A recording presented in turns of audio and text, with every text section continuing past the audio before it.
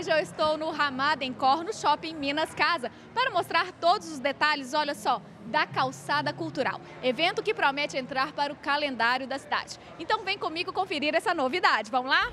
A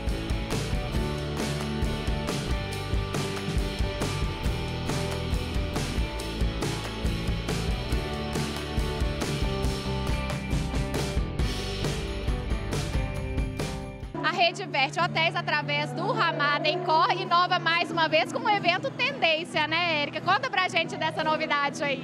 Então, é aqui dentro do Minas Casa, ao lado do Ouro Minas, que é uma rua que fica aqui, a, a gente pensava, pensava o que fazer, acabamos cobrindo, tem uma academia aqui do lado, e agora a gente quer fazer uma, duas vezes por semana essa calçada movimentada, porque a região pede isso. Eu trabalho nessa região há muito tempo e o Ramadancor é isso, ele é uma marca é, meio GLS, meio jovem. Não quer dizer que a pessoa é 10 anos de idade, tem 20 anos de idade, não é isso. Espírito jovem, as pessoas que querem se manter conectadas, que querem uma internet rápida. Então essa calçada é para isso, é para beber bebidas diferentes, comidas irreverentes e encontrar pessoas especiais. A gente espera que isso vire rotina na cidade. É uma região né, que precisava de um evento assim, diferenciado, né? Então, a gente tem um centro cultural aqui na porta, uh, tem um bom shopping que tem bons bares, bons restaurantes, tem um hotel cinco estrelas aqui do lado, tem um hotel econômico, design, com uma, uma, a melhor cama de Belo Horizonte.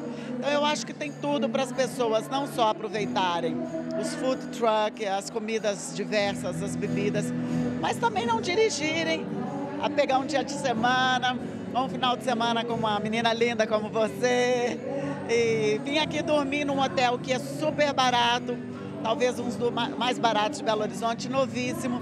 E o Ramadan Cor é isso no mundo inteiro. Ele tem a função de entregar para a cidade a jovialidade uh, do seu destino. E eu espero que essa calçada fique lotada, é a nossa primeira vez.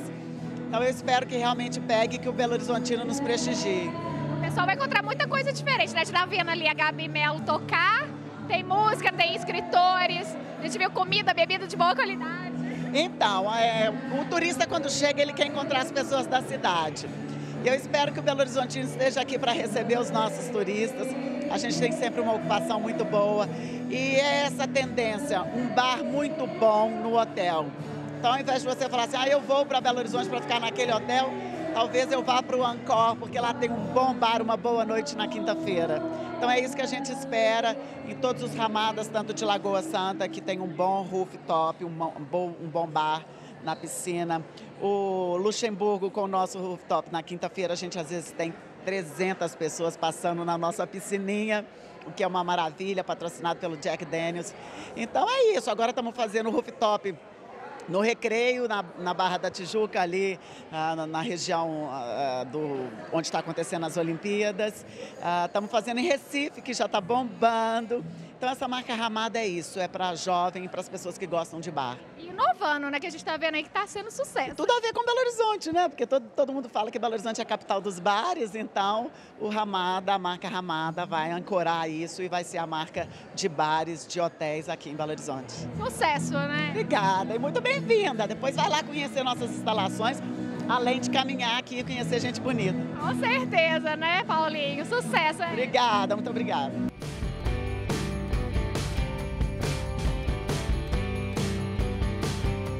Bom, aqui ao meu lado a Fernanda Mello, que é compositora e escritora, né, Fernanda? E eu queria saber de você, né, que você está participando aqui né, da, da, calçada cultural. O que, que você está achando né, de estar tá expondo o seu trabalho aqui nesse evento? É, tá sendo uma experiência assim super bacana. Eu estou super feliz porque o evento tá lindo. E, e, assim, eu fiquei encantada quando eu cheguei, porque é, eu lancei esse livro, que é o Amar é Punk, tem muitas frases que falam de amor e, e o pessoal aqui colocou é, várias frases penduradas, assim. Então, assim, tá sendo muito legal. E é um charme, ficou um charme, né, com essas frases. Ficou um charme, nossa, eu achei lindo. E assim, pra mim é um, não, é muito orgulho, né? Agora fala um pouquinho sobre a sua carreira. Né? Você falou também que é compositora, já compôs né, para alguns cantores aí famosos. É, eu, eu compus já para o J Quest e oito músicas. Eu compus também aí para o Tia Anastácia, é, para Negra Lia, eu fiz uma versão, Vanessa Camargo. Então, assim, é, eu tento conciliar as duas coisas, mas né, cada um é um, é um tipo de escrita, né, um tipo de emoção também. E os livros? Agora vamos falar do, dos trabalhos aqui que estão aqui expostos. É, na verdade, eu tenho Princesa de Rua, que é meu primeiro livro, que já está na segunda edição. Depois dele eu lancei um, um, infantil, que é o menino que queria abraçar o mundo, que ele é fofo, assim, é, foi, na verdade ele é muito especial para mim porque eu, eu escrevi para meu avô. Então, assim, fala sobre sonhos, sabe? Sobre como é, fazer para dar um abraço no mundo, assim. Então, é uma coisa lúdica, assim. É, eu, eu sou, assim, apaixonada. Suspeita. É, sou suspeita. E eu tenho também o Amaré Punk, que é o último que, que eu lancei agora, que fala muito sobre amor, mas, assim, um amor mais real, sabe? Sem muito aquela coisa assim de conto de fada, porque né, todo mundo sabe, assim, pelo menos a minha opinião, amar é muito bom, mas também a realidade é que no dia a dia conviver não é uma coisa fácil, né? Então, assim, falando desse outro lado B, não tão cor-de-rosa do amor, né? desmistificando um pouco aquela coisa romântica de príncipe encantado. Então é esse livro que é o último e que tem essas frases por aí. bacana demais aí seu trabalho e tá, né, sendo exposto aí na, na calçada cultural. Né? É, nossa, estou muito feliz, muito feliz pelo convite. O evento tá lindo e foi um prazer estar aqui, né, ter sido convidado e estar aqui. Fernanda, obrigada pela participação no programa Eu e sucesso. Agradeço, muito obrigada.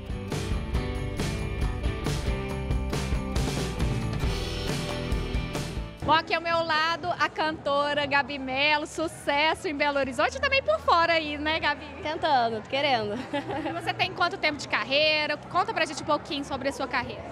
Tenho, acho que contado, assim, desde o primeiro show, 15 anos, mais ou menos. 15 anos, novinho com essa carinha de menininho? Só a cara, tá? Tô enganando ainda. Mas desde o primeiro show, o primeiro show foi com 14, então, né, tipo 15, 16 anos.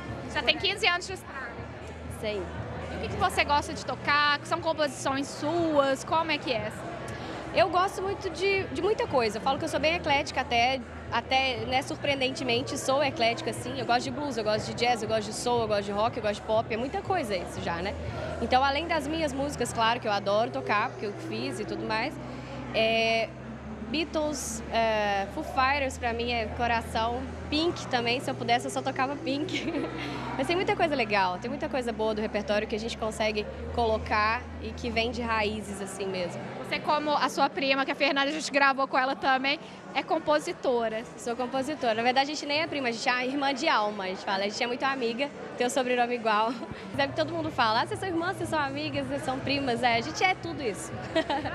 Mas sim, sou compositora e a maioria das minhas músicas né, já lançadas e as que vão vir agora no disco novo, em outubro a gente lança, são minhas, são de minha autoria e agora com algumas é, algumas parcerias bem legais, inclusive da Fei e do Sideral, né? Que foi agora a última música. Bacana. E o que você tá achando, né, dessa calçada cultural que tá misturando, né? A gente viu que escritores, tem artistas, né, de teatro e agora música como você aqui. O que você tá achando dessa ideia? Assim? Eu achei super legal. Eu entrei aqui, eu falei, eu fiquei olhando, assim, sabe? Nossa, que legal, coisa diferente, né? Tem várias, várias formas de cultura bem diferentes e que todo mundo não tem como não gostar, não tem como não curtir, não tem como não aproveitar isso aqui. É um prazer estar aqui. É uma oportunidade de mostrar o seu trabalho. Claro, para várias pessoas, vários públicos diferentes também, que talvez não fossem à noite num, num show nosso, né? Mas bem legal. Prazer imenso. Obrigada, Gabi, pela participação e sucesso para você aí na sua carreira. Obrigada.